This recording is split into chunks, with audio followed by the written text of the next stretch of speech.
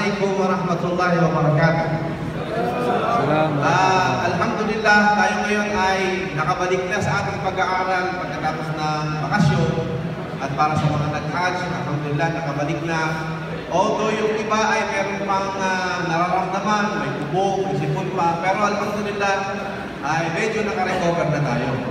Ngayon naman, hindi natatapos ang um, ating paggawa ng pagsamba ng ibada kay Allah subhanahu wa ta'ala sa pagkatapos ng Eid, pagkatapos ng Hajj, pagkatapos natin mag-fasting sa buwan ng ah, sa araw ng Arafah, dapat hindi natin ah, tinatapos at uh, winawakasan yung paggawa natin ng pagsamba. Ngayon, inaantayahan kayo ng Rauda Islamic Center sa pag-aaral namin ng mga ah, susunod na magbubukas insyaAllah. Ngayong 26 ng Ah, September ay magbubukas na po yung pag-aaral natin ng Tuesday at saka Wednesday. At magbubukas na rin inshallah subhanahu wa yung isa sa mga paligan natin sa IBN 5 inshallah. At yung Friday natin ay continuous pa rin yung pag-aaral. So lahat ng yan ay kabilang sa mga ah, bagay na pwede ninyo pakinabatan dito sa Rauda Islamic Center at isa dyan sa ini-encourage ko kayo yung paghahanap ng kaalaman, pagsasaliksik ng kaalaman. Alam niyo ba na ang isang hadith ng Propeta Muhammad SAW sa isang hadith na sahih na sinabi ni Propeta Muhammad SAW, sabi niya, Talabul ilm faqidatun ala kulli muslim. Sa isang narration, wa muslimatin. Sabi ni Propeta Muhammad SAW, ang pagsasaliksik ng kaalaman ay obligasyon ng isang Muslim sa isang narration, isang Muslim na lalaki at isang Muslim na babae. So, obligasyon ng isang tao, yung ilm syar'i, talabul ilm syar'i, ang uh, batas sa Islam, yung uh, batas ng uh, pagpapalagan at pagpapaan natin sa pagiging Muslim natin, sa pagkabuhan ng Islam, ay obligasyon natin. At tatanungin tayo ni Allah subhanahu wa ta'ala sa kabilang buhay sa pag-aaral na ito kung ating ba itong naisagawa.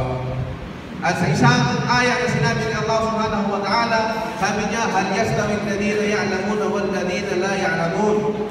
Pantay ba ang mga taong nakaalam sa hindi nakakaalam?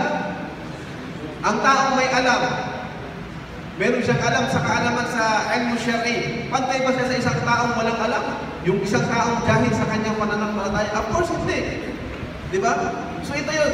Ang may alam sa walang alam, ay hindi kailan na mag magkakaroon ng pagkakapantay-pantay sa kanilang daraja kay Allah subhanahu wa ta'ala. Bakit? Kasi ang may kaalaman sa Islam, di ba? Sabi ni Propeta Muhammad alaihi sabi niya, Man salaka tariqan yaltamisu fihi ilman, sahhala Allah lahu bihi tariqan ila jannah. Man salaka tariqan yaltamisu fihi ilman, sino man sa inyo ang umahak ng daan na itong daan na ito ay daan sa yaltamisu fihi ilman, dito siya ay nagsasaliksik ng kaalaman, kaalaman sa kanyang pananampalataya, sahhalallahu lahu bihi tariqan ila jannah. Ay ipapadali sa kanya dahil sa kanyang pag-aaral sa Islam, padadali sa kanya ni Allah nung kanyang daan pagpasok papunta sa paraiso. Ayun ba yun? Yung pagpasok mo sa paraiso, dahil ikaw ay nagsaliksik ng kaalaman, imbis na mahirap ay padadaliin ni Allah dahil ikaw ay nagsaliksik ng kaalaman sa Islam. Sabi ni Propeta Muhammad sallam, yung yung talibul ilm, siya ay nasa landas ni Allah, huwa fi sabilillah hatta yarji'. Ang isang taong nagsasaliksik ng kaalaman, siya ay nasa landas ni Allah. Siya ay nasa pangangalaga ni Allah. Kapag lumabas siya sa kanyang bahay, punta siya sa isang lugar na kung saan naghahanap siya ng kaalaman. Yung kanyang paglabas sa bahay, pagpunta sa paaralan, sa madrasa, hanggang sa makabalik siya, ay itinuturing siyang siya ay nasa landas ni Allah. Di ba?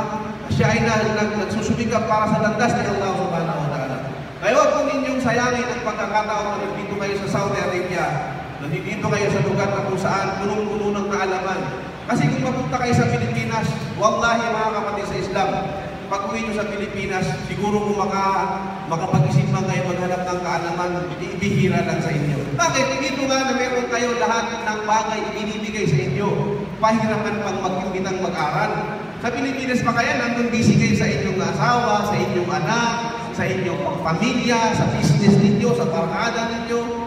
Paano pa kayo ka naman. Samantalang dito, may hatid sundo pa. Mashallah, tatawagan pa. Bro, saan ka na? Halika na, pasok ka na. Pagdating dito, may ano pa, hindi na kayo kailangan bumili ng sarili niyong pagkain. Hindi na kayo mga masaya. May pagkain pa dito. May certificate. Di ba, libre pa kayo sa obra. Kung nakatapos kayo ng level 4, pwede pa kayong mag-hajj. Ano ba ba ang hilingin ninyo sa pag-aaral sa Islam? Di ba? Wala na, brothers. Kaya samantalahin ninyo. Ito yung pakiusap ko. Hindi ito para sa akin, para sa inyong mga sarili. Mag